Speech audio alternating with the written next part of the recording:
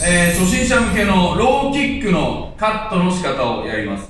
えー、ディフェンスの仕方ですね。さっきみたいに太もも蹴られると痛いです。痛い。痛いんで、このままじっとしてると痛いんで、膝を上げて、相手のキックをすねで受けます。はい、やりますね。こういう感じです。すねで受けます。はい。この時注意する点なんですけど、膝を上げるんですけど、まっすぐこう上げるとね、ダメです。あの、この側面蹴られて、側面蹴られて足流されます。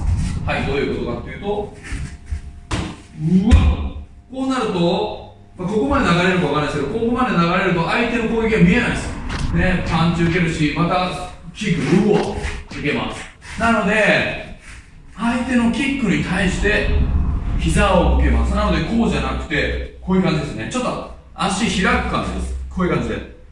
こう来るんで、こっち、こっち。こう行くと、うおっとなっちゃうね。もう一回やりますね。相手のキックに対して、膝を上げます。はい。今度は、内ももですね。インロ今外側だったんですけど、内もも蹴られる。これも痛いです。うわ痛いです。これも、あの、ディフェンスの仕方は基本的に一緒です。こっちからこう来るんで、内もも蹴り来るんで、まあこういう感じで。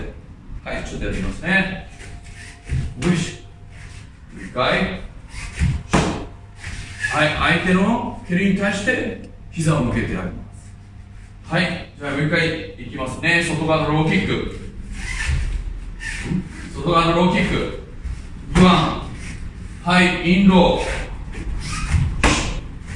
はい、インドもう一回こっち側からやりますね。はい、インド来ました。ブン。はい、こういう感じで、足を蹴られないようにディフェンスします。はっ